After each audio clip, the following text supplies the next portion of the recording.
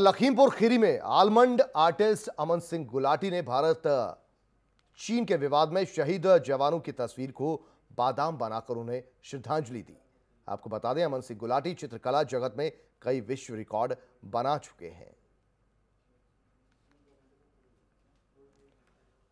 तो भारत और चीन विवाद में 20 भारतीय सैनिक शहीद हुए हैं, उनको अलग अलग तरीकों से देश भर में श्रद्धांजलि दी जा रही है।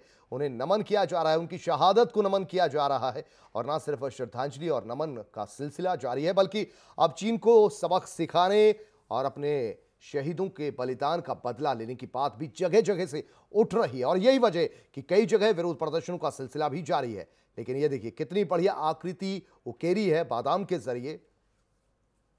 और इसी के ज़रिए अपने शहीदों को नमन किया है आलमंड आर्टिस्ट ने।